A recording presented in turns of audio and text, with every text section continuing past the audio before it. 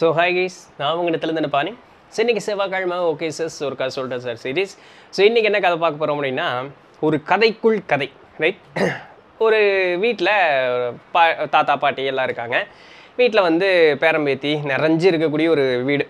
அப்போ அந்த வீட்டில் வந்து பார்த்தோம்னா மதிய வேலை எல்லாரும் உணவு உண்டுட்டு எல்லாம் அப்படி ஜாலியாக ஜம்முன்னு உட்காந்துட்டு இருக்கும்பொழுது அந்த அந்த பாட்டி வந்து வெத்தலை வாக்கு போடுறதுக்கு ரெடி ஆகிறாங்க. அப்போ அங்கே இருக்கக்கூடிய குழந்தைகள்லாம் பாட்டி எங்களுக்கும் வந்து கொஞ்சம் மடிச்சு கொடுங்களேன் அப்படின்னு சொல்லி அங்கே வந்து கேட்கும்பொழுது பாட்டி வந்து அவங்களுக்கு சொல்லித் தராங்க என்ன சொல்லித் தராங்க அப்படின்னு சொன்னால் வெத்தலை இப்படி தான் வைக்கணும் பாக்கு இவ்வளோ தான் வைக்கணும் சுண்ணாம்பு இவ்வளோ தான் வைக்கணும். ஸோ அப்படின்னு சொல்லி அவர்கள்லாம் சொல்லி தந்தோன்னே எல்லாரும் அந்த மடித்து வாயில் வச்சுட்டு நாக்கை வந்து அப்படியே எல்லாரும் அந்த கண்ணாடியில் போய் பார்த்துக்கிறாங்க எல்லாம் சிவப்பு கலரில் இருக்கிறது. இப்போ பாட்டி என்ன சொல்லி தராங்கன்னா இந்த ப்ரொப்போஷன் அப்படிங்கிறது இருக்குது பார்த்தீங்களா இந்த ப்ரொப்போஷன் அப்படிங்கிறது வந்து கரெக்டாக அளவு அப்படின்னு சொல்லக்கூடியது சீராக இருக்கணும்.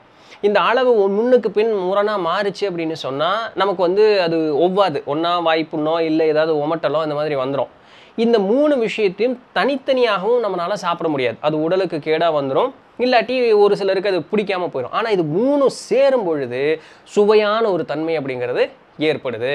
அப்படிங்கும் பொழுது இதற்கு ஏற்றாற் போலவே ஒரு அருமையான ஒரு கதையும் இருக்குது நான் சொல்லட்டா அப்படின்னு கேட்கும் பொழுது குழந்தைகள்லாம் சொல்லுங்களேன் நாங்களும் கேட்குறோம் அப்படின்னு சொல்லிட்டு உட்காடுறாங்க என்ன கதை அப்படின்னா ஒரு ஊரில் பானு வீர் அப்படின்னு சொல்லக்கூடிய அண்ணன் தம்பி ரெண்டு பேர் இருக்காங்க. பானு அப்படிங்கிற ஒரு அண்ணன் வீர் அப்படின்னு சொல்லக்கூடியவர் தம்பி.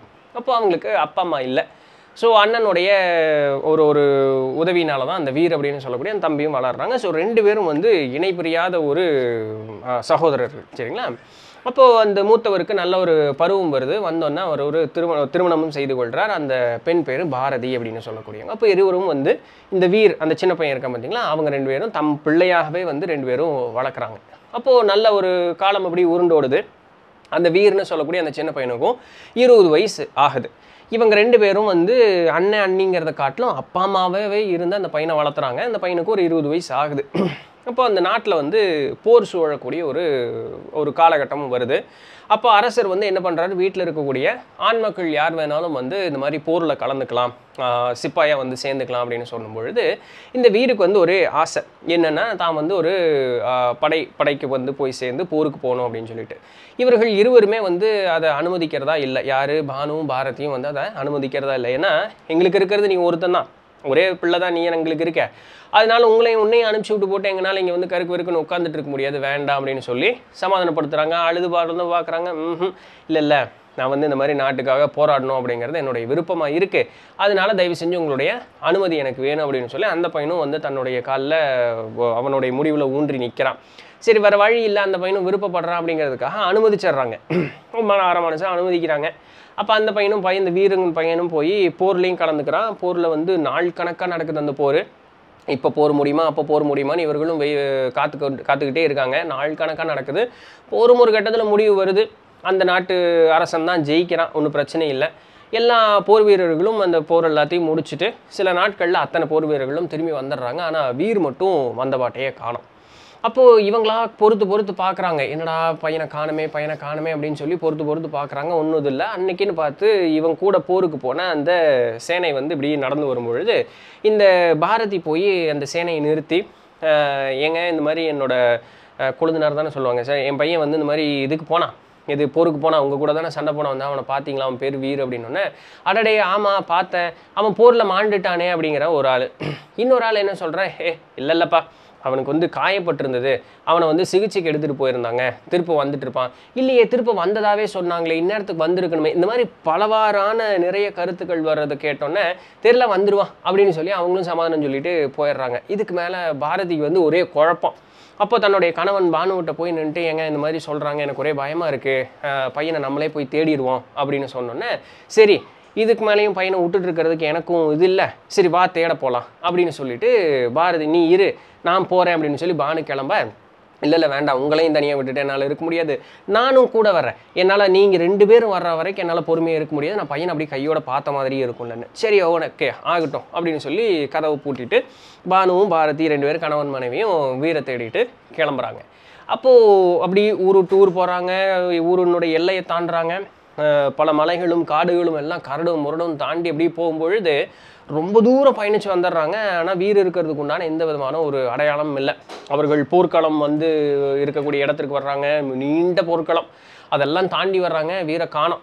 அப்போ அங்கே இருக்கக்கூடிய மக்கள்கிட்ட எல்லாம் கேட்கும்பொழுது போர்க்களம் தாண்டுறாங்க. அப்போ அங்கே இருக்கக்கூடிய மக்கள்கிட்ட கேட்கும் பொழுது இந்த மாதிரி ஒரு பையன் இருந்தானா அப்படின்னு ஒன்று ஆமாம் ஏதோ இங்கே இருந்த மாதிரி தான் இருந்தது. நம்ம என்ன அப்படி தேடி பாருங்கள் எங்களுக்கு தெரியலன்னு அவங்களும் சொல்ல. அப்போ அந்த கரடெல்லாம் தாண்டி அவர்கள் போகும்பொழுது அதற்கு மேலே பாரதியினுடைய உடலில் கொஞ்சம் கூட பலம் இல்லை. அப்போது என்னங்க என்னால் முடியல அப்படின்னு சொல்லி அந்த அம்மா அப்படியே கீழே உட்கார அப்படியே அந்த அம்மா விழுந்து இறந்து போயிடுது அட தன்னுடைய மனையாள் இறந்தாலே அப்படின்னு சொல்லி நினைக்க அவர் உயிரும் அந்த இடத்துல அப்படியே பிரிஞ்சிருது. அப்போ இருவரும் அந்த இடத்துல மாள்றாங்க. மாண்டோன்னு பார்த்தோம்னா அங்கே இரண்டு வகையான தாவர வகை ஒன்று உருவாகுது. இது நாள் வரைக்கும் அந்த காட்டிலையும் அந்த சுற்று வட்டாரத்துலையும் இல்லாத இரண்டு தாவர வகை அப்படிங்கிறது ஒன்று உருவாகுது.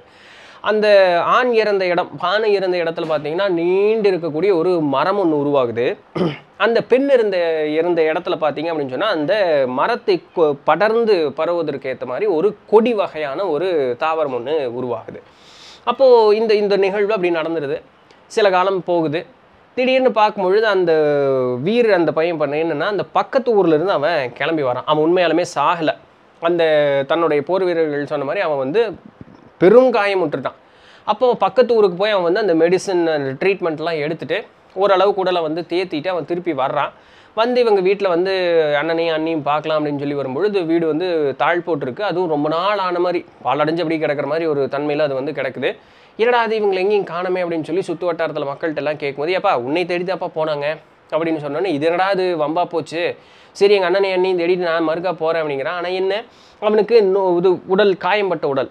இன்னும் அவனுடைய அந்த ட்ரீ இது இது ரிக்கவரி ஃபுல்லாக ஆகலை. இருந்தாலும் இவங்க எங்கே போனாங்கன்னு இப்போ தெரியணுமே.